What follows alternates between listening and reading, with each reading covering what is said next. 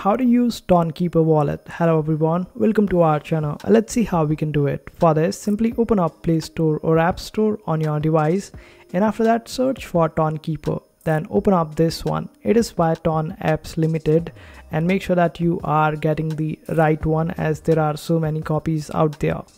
And after getting this, install it, create your account on it and after that, this is the kind of wallet that you will be able to see you would be able to send and receive crypto using these options. You would be able to find this option of send crypto in order to send any particular crypto to any other wallet out there. If you want to receive crypto, simply select this particular option of receive and this way you can provide the details and after that you can receive that crypto in your wallet. And if you select the wallet section at the bottom, you would be able to see all the balances in your wallet if you want to see the transaction history, simply select the option of history at the bottom and you would be able to see all the transactions that has taken place in your wallet.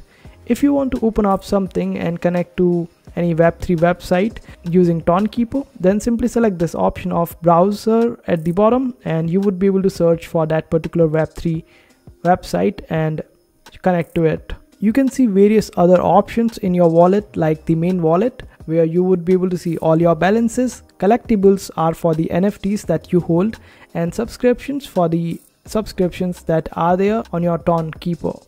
You can also stake and earn some crypto using the stake section.